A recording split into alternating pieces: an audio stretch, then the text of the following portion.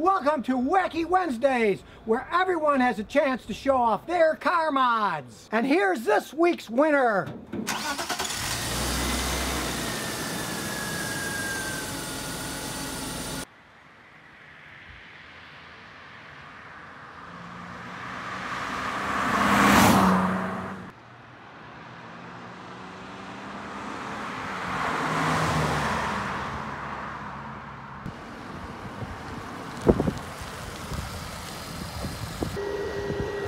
Hey YouTube, hey Scotty fans, my name's Philip. This is my 1999 BMW 323 IS. It's got 321,000 miles and I've had it for almost five years. I'm going to show you the pros and cons of living with a 20 year old German car. I'm going to go through the history and also some of the maintenance that I've done on this car. And naturally, I've got plenty of quirks and features to show you. So the E36 had a production year from 1992 to 1999. This particular one is the last year. So you see tons of these driving around in California especially. People love them as daily drivers. However, where they've got the most recent attention is in the recreational activity known as drifting.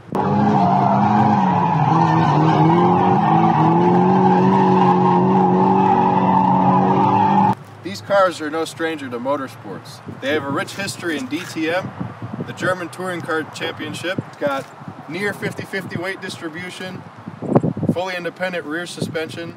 So unfortunately we can't include any clips of DTM cars in action because of copyright issues. However, here's a photo of our friend's car which is actually a DTM replica built from the ground up. You've got rear seats you can actually use. It's more well balanced. You've got better suspension geometry, a better setup, which works better in motorsports and drifting. Now this video wasn't meant to be a 240 roast session, but take that as you will. I just want to tell you how great this model was. It was featured in Car and Driver's best 10 cars every year it was produced. The car has taken me from point A to point B year after year reliably, but of course there have been some things I've needed to replace, none of which have actually left me stranded on the side of the road, thankfully. Most recently, this summer, I actually did the head gasket on this vehicle. A shop would have quoted me about four grand to do the job. With my friend here, the cameraman, he helped me out. Parts, parts and labor only were about $350.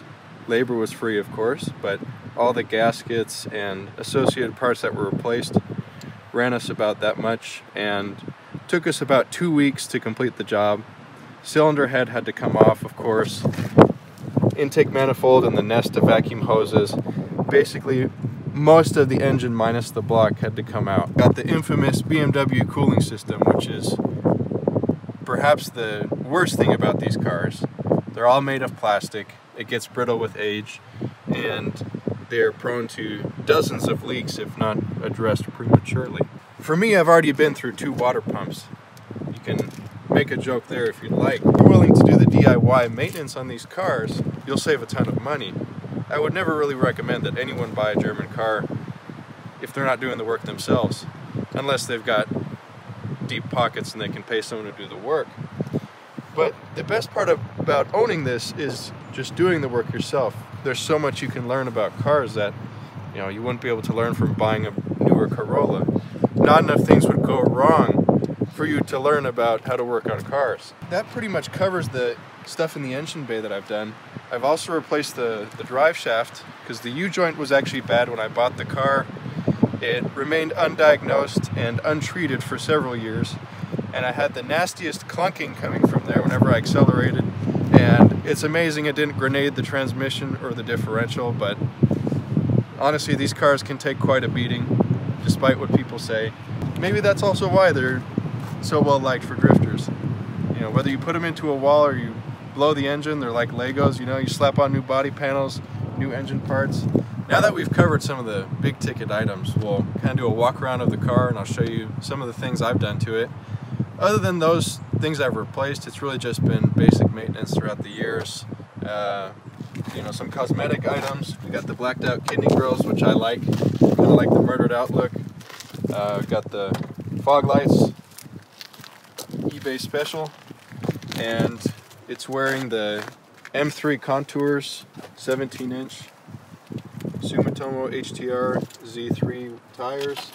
in the front, and we've got Federal SS 595s in the back.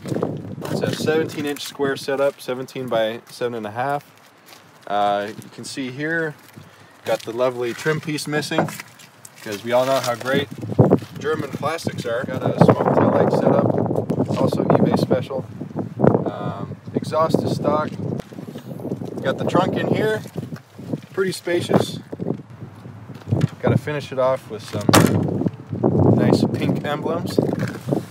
Start off as more of a joke, but now I just run them on the whole car because I think it's funny and you know maybe some guys will leave me a love note after they see the pink emblems thinking you know a chick that's into cars is driving this well they're in for a surprise. The car has 321,000 miles. Obviously it's not going to drive like a car that has 90,000. What's important is that the powertrain is still in one piece and it gets me to my destination every day reliably. This model, it's got a pretty Spartan interior. Luxury cars back then are certainly not what they what they are today.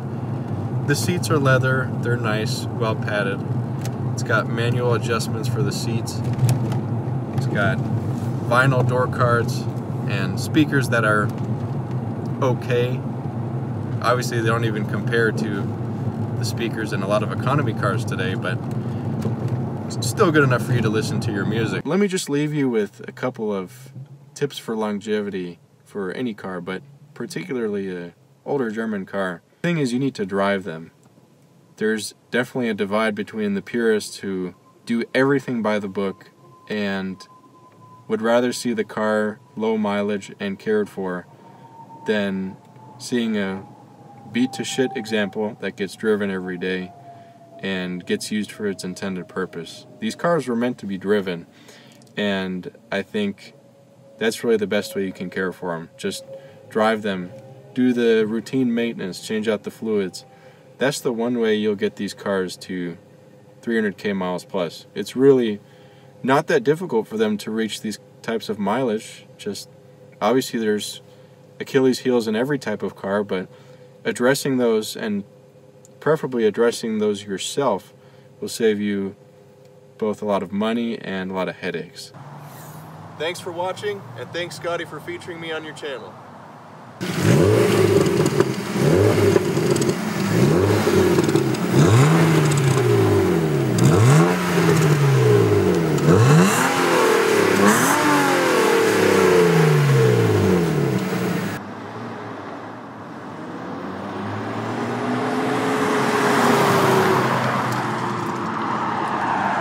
Was this week's video, and to have your car mod shown on my channel here, check this out.